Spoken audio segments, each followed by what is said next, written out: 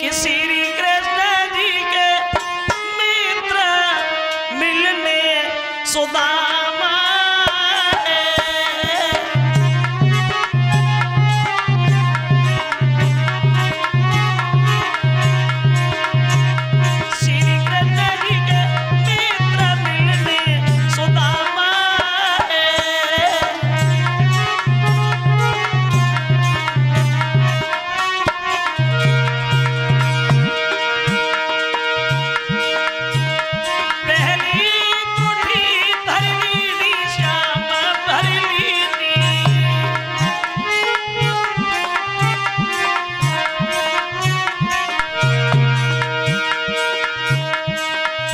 ये लोग चावल ले रहे हैं इन- इन्हें दे दो, इधर भीड़ लगेगी, जगह कम है।